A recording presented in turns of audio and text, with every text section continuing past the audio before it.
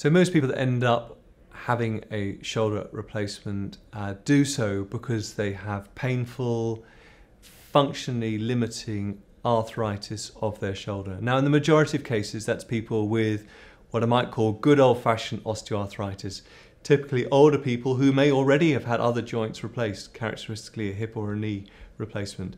But there's a smaller group of people who've developed arthritis in their shoulder as a long term consequence of some major injury that they've had in the past.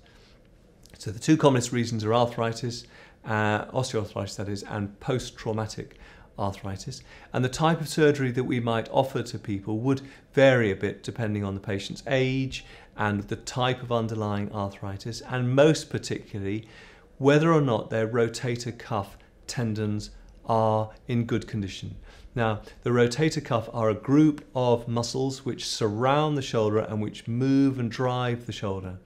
And we cannot do a standard shoulder replacement if those rotator cuff tendons are badly damaged or not working.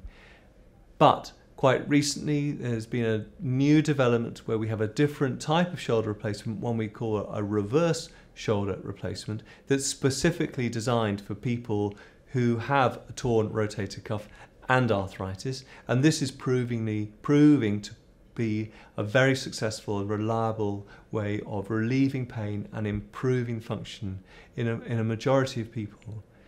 Now, shoulder replacement itself, a lot of people don't think about shoulder replacements. Most people have heard of hip and knee replacements, may not even be aware of shoulder replacements. But shoulder replacements are done commonly. We do perhaps one or two a month here in the hospital. Um, it's a very successful operation. It's very reliable for relieving pain. It's very good for improving function. It has good long-term outcomes. It's every bit as good as a hip or a knee replacement, certainly in terms of how long it's likely to last. Good 10 years would be a typical outcome.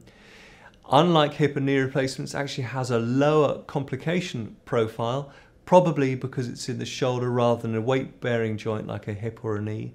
So the risks of blood clots, for example, are smaller in a shoulder replacement compared to a hip or knee replacement.